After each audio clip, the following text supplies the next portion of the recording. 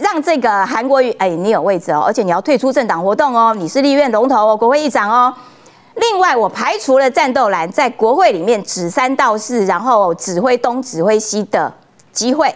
我排了一个傅昆萁，如果他选总招的话，嗯，我党主席是不是直接可以顺畅啊？我的指令就直通党团了啊，